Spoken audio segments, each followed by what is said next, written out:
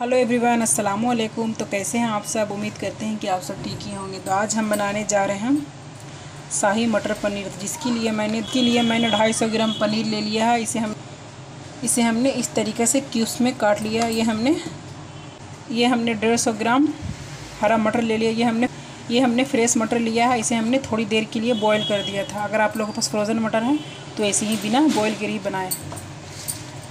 ये हमने दो मीडियम साइज़ के टमाटर को इस तरीक़े से क्यूब्स में काट लिया, दो हरी मिर्च, दो मीडियम साइज़ के प्याज को हमने इस तरीक़े से बड़े बड़े पीसेस में काट दिया। ये हमने दस से बारह काजू, पाँच से छः हमने बादाम ले लिया। अब चले बनाने की प्रोसेस की तरफ़। सबसे पहले हमने एक कढ़ाई ले लिया। कढ़ाई को हमने गैस पर चढ़ा दिया। इसमें हम थोड़ा सा तेल डालेंगे, रिफाइंड ऑयल। तेल को हम अच्छी तरीके से गर्म होने देंगे। तेल मेरा गर्म हो चुका है। इसमें अब हम प्याज डाल देंगे। प्याज को हम कुछ प्याज को हम कुछ सेकंड के लिए सौते कर लेंगे। हल्का सा हमने प्याज को सौते कर लिया, इसमें अब हम प्याज, हरी मिर्च डाल देंगे।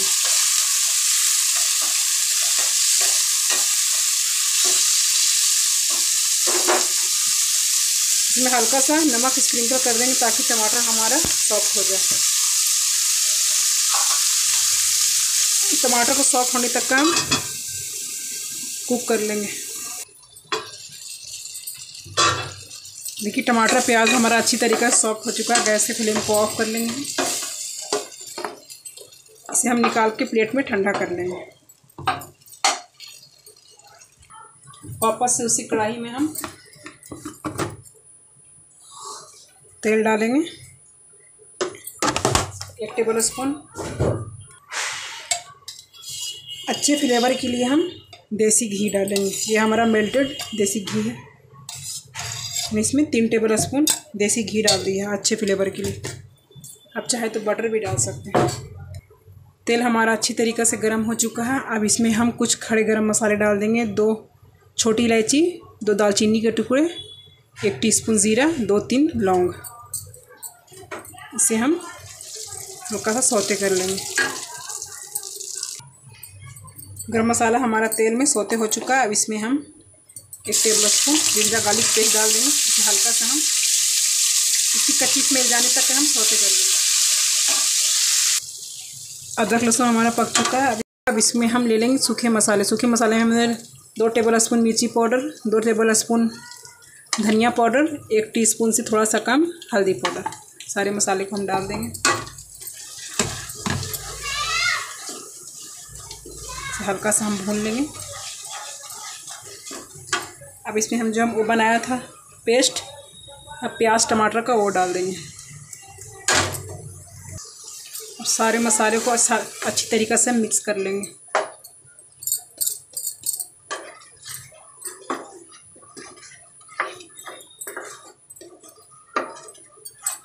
इसमें थोड़ा सा हम पानी डाल देंगे।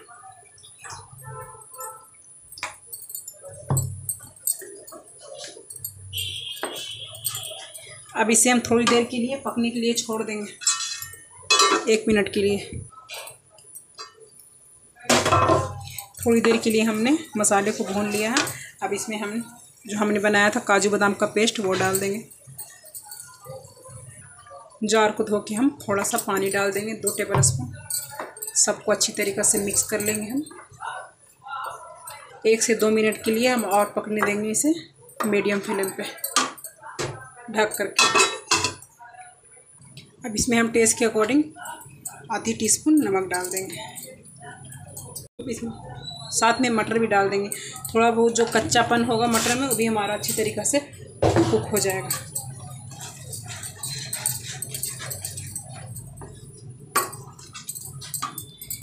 एक मिनट के लिए हम और कुक कर लेंगे। एक मिनट के लिए हम और पका लेंगे मसाले को मटर के साथ।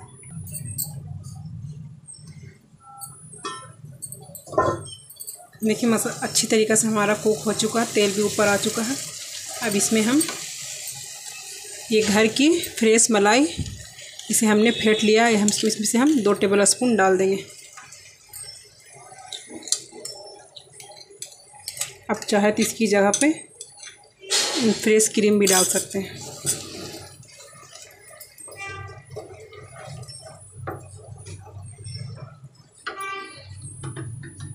अब इसमें हम पनीर डाल देंगे। थोड़ी सी हरी धनिया की पत्ती डाल देंगे। सबको अच्छी तरीक़े से मिक्स कर लेंगे।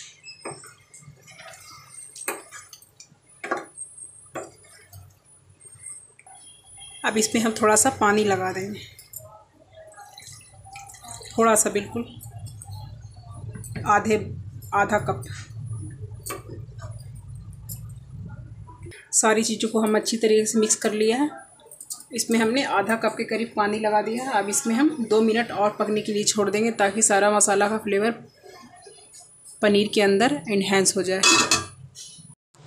दिखाते हैं आप लोगों को शाही पनीर का।